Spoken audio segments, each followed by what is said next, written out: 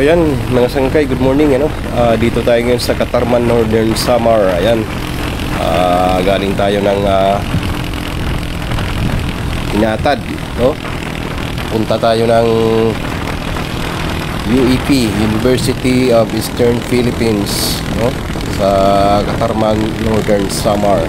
So ayan, binabaybay natin ngayon itong national road ah, papuntang ah, UEP. Tapos didiretso tayo ng White Beach Resort. Okay? So ayan, mga sangkay, tabayanan nyo. Napakaganda nitong ah, daanan na ito guys. Ano? Ah, masyadong ah, maganda yung view. Ayan, nandyan sa baba, yung mga nyug. Medyo mataas yung ah, daanan na ito na highway na ito guys.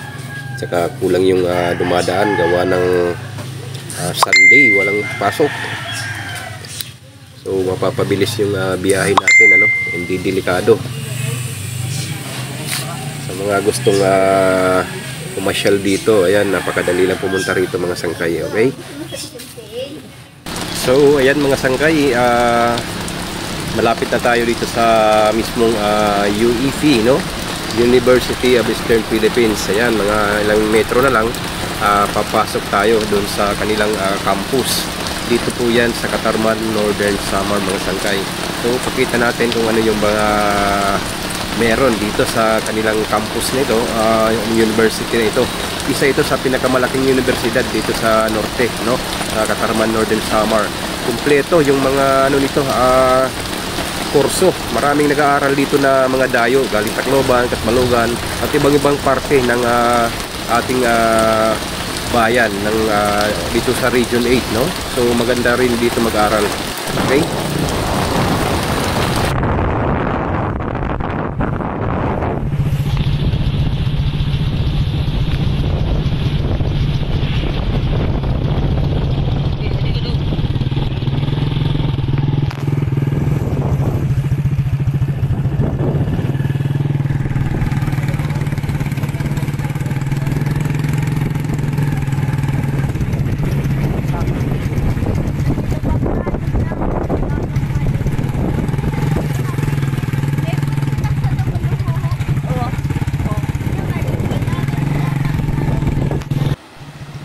So ayan guys, nandito tayo sa isa sa mga building dito sa UEP, ano, dito sa University of Western Philippines. Yan, medyo mataas. So kita yung dagat na nandun sa dulo guys. Kita nyo, ayan. So mamaya pupuntahan natin yan pagkatapos natin dito. Okay? Ayan, dito tayo banda sa dulo. Dito sa mismong may pangalan nitong uh, ano, uh, kanilang school. Ayan yung uh, basketball court malawak din ito ano? Para ring ano to guys parang biska. Sa Baybay Leyte. So ayan. Tapos na tayo yung sa University of Western Philippines. Baybayin naman natin itong coastal papuntang uh, White Beach Resort guys. So uh, lubos-lubusin na natin itong ating uh, oras habang nandito tayo ngayon. Uh, samantalahin na natin no? Ayan. Uh, papuntang White Beach Resort po ito. Ayan wala tayong wala tayong nakikita masyado mga sasakyan gawa nga ng uh, linggo no? Walang trabaho walang mga biyahe. So ayan sulong sulo natin yung uh, daan. So ayan nakikita na natin yung mga yung dagat guys. So ipasok tayo diyan sa unahan.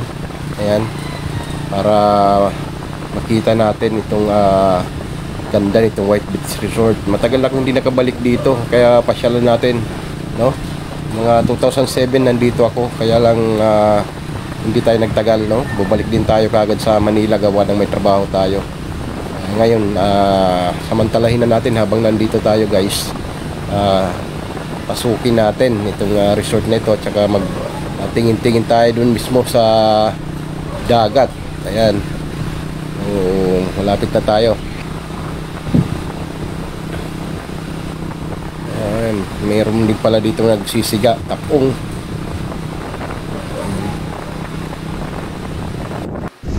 So ayan, dito na tayo sa White Beach Resorts mga sangkay. Ayan. Ang daming na uh, may mga naliligo din ano. Ayan, oh. Kaya lang medyo low tide ngayon. So maganda ito dati, kaya lang ngayon na medyo napabayaan na no. Yan kita nyo naman yung buhangin no, medyo may puti. Hindi nga lang ganun ka pure na talagang puting-puti ano. So ito yung tinatawag guys na lawi-lawi ano. Ayan. Medyo malalim na parte yan dyan. Malapit lang yan pero malalim. Gawa ng ah, kantilado yung ano dito. ah, dagat, no? Yan, mga bato-bato. Matalas yung mga bato na yan. Hindi ka pwedeng umapak dyan pag wala kang tsinelas. Uh, bakulod kung tawagin nila doon sa dito sa Katarman guys bakulod mata, ma- mga matatalas yung mga bato dyan kaya kailangan medyo maingat tayo dyan okay so ayan lang mga sangkay ano thank you so much Yeah.